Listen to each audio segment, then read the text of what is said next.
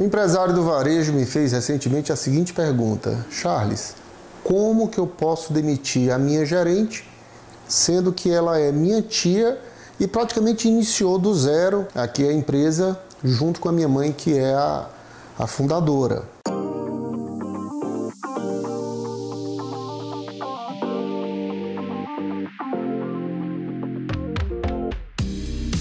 Olha, essa é uma situação bem delicada, especialmente porque, segundo ele me relatou, a tia, que é a atual gerente, já está na empresa desde a fundação da empresa e ajudou muito a mãe dele, que é a fundadora, a proprietária da empresa, desde o início. Mas estava aí com esse desafio de demitir a gerente, tia dele, e que ajudou a construir a empresa praticamente do zero. O que é que eu sugeri? Olha, o ideal é você trazer ela para uma conversa franca, explicar que contratou uma consultoria, que a empresa agora vai ter normas, regras, vai ter um manual de conduta um regimento interno com regras claras e que todas as pessoas precisam cumprir. Você não vai se dirigir a ela como responsável por alguma ineficiência na empresa. É importante que você tenha respeito, afinal de contas, ela é sua tia e iniciou o negócio junto com a sua mãe, fundou aqui o negócio.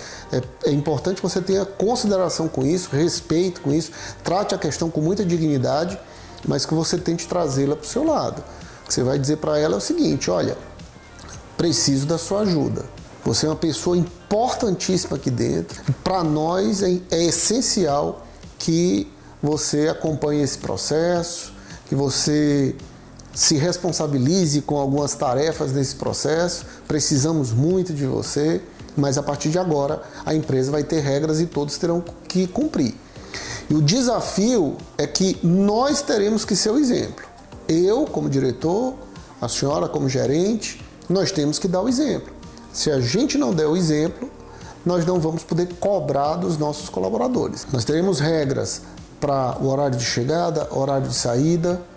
Nós teremos regras para o uso de bens da, da empresa para fins pessoais. Nós teremos regras para a utilização do horário de trabalho de algum colaborador para solicitar alguma demanda pessoal. Nós teremos regras para tudo isso e nós temos que dar o exemplo. Essa é a conversa que eu sugeri ele tivesse com a, com a gerente dele.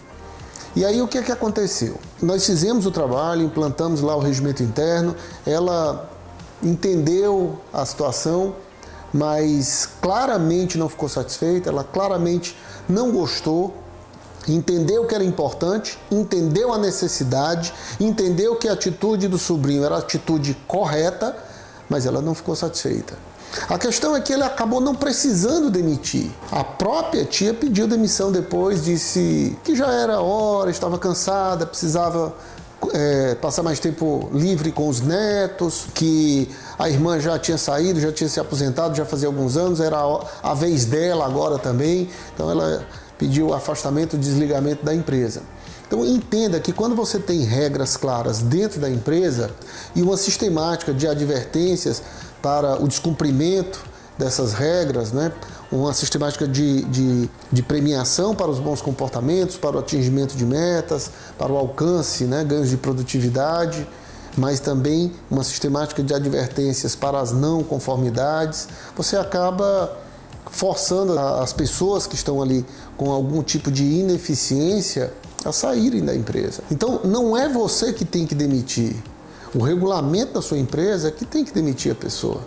Você tem que ter um regulamento que te permita contratar os melhores talentos, contratar as pessoas que têm a maior probabilidade de performarem bem no seu negócio, ter um processo de seleção que seja mais extenso, um processo de seleção mais, mais amadurecido, um processo mais bem planejado.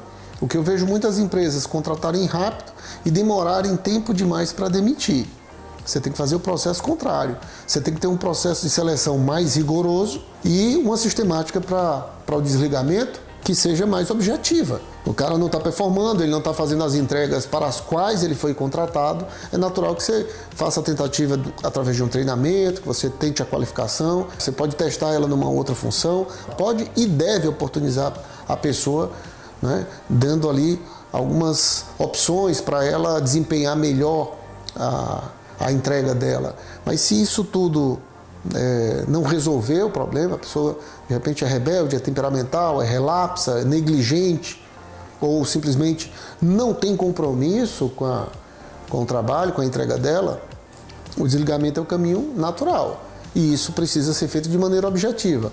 A maneira mais fácil de você fazer isso, mais natural de fazer isso, é através de um regulamento interno que as regras por si só já cuidam ali de criar uma sistemática de admissão e demissão. Então, para demitir um parente ou um amigo, a melhor sugestão é que você tenha regras claras e você deixe também, através de uma conversa franca, claro para essa pessoa, sendo seu parente ou seu amigo, que não é você quem vai demiti-la, não é você que está demitindo ela. Se, você, se chegar a esse a esse ponto, né, de ter que demitir mesmo, você já tentou de tudo e não conseguiu, você tem que chegar para a pessoa claramente e dizer, olha, não sou eu que estou demitindo você. Nós somos os mesmos amigos, gosto de você, você é pessoa extraordinária, nossa amizade permanece, mas sucessivamente você tem descumprido aqui essas regras, assinado as advertências, e eu não posso permitir que um exemplo como o seu me coloque numa situação difícil e delicada